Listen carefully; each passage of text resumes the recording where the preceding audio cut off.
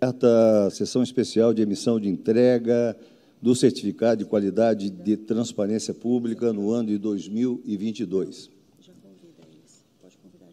Na forma do artigo 243 do Regimento Interno, declaro aberta neste dia 7 de fevereiro de 2023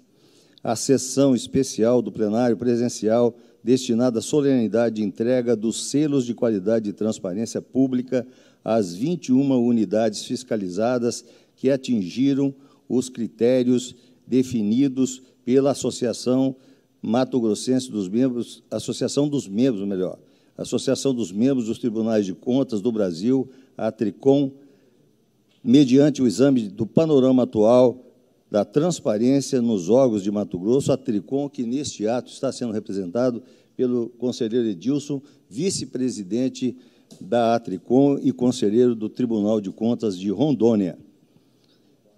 Excelentíssimo senhor presidente, conselheiros José Carlos Novelli, anunciamos as instituições que receberão selo de qualidade de transparência pública para as, as unidades gestoras que alcançaram o nível elevado de transparência no ano de 2022. Selo Diamante, Tribunal de Justiça do Estado de Mato Grosso e Tribunal de Contas do Estado de Mato Grosso. Selo Ouro. Selo Ouro, Prefeitura Municipal de Alto Araguaia, Prefeitura Municipal de Cuiabá, Governo do Estado de Mato Grosso, Prefeitura Municipal de Ipiranga do Norte, Prefeitura Municipal de Juara, Câmara Municipal de Juara, Prefeitura Municipal de Nossa Senhora do Livramento e Câmara Municipal de Vale de São Domingos. Selo Prata, Ministério Público do Estado de Mato Grosso, Assembleia Legislativa do Estado de Mato Grosso, Prefeitura Municipal de Itaúba, Câmara Municipal de Nova Guarita, Câmara Municipal de Nova Monte Verde, Câmara Municipal de Nova Mutum, Prefeitura Municipal de Reserva do Cabaçal, Câmara Municipal de Rio Branco, Câmara Municipal de Sinop, Câmara Municipal, eh, Prefeitura Municipal de Tangará da Serra e Câmara Municipal de União do Sul.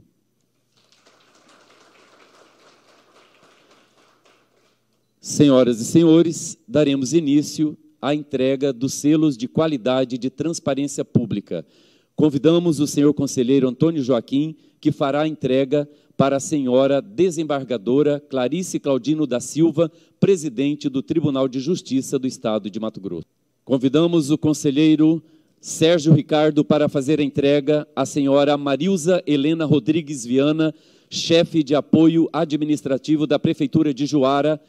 em Cuiabá, representando o senhor Valdinei Holanda de Moraes, prefeito em exercício do município de Juara.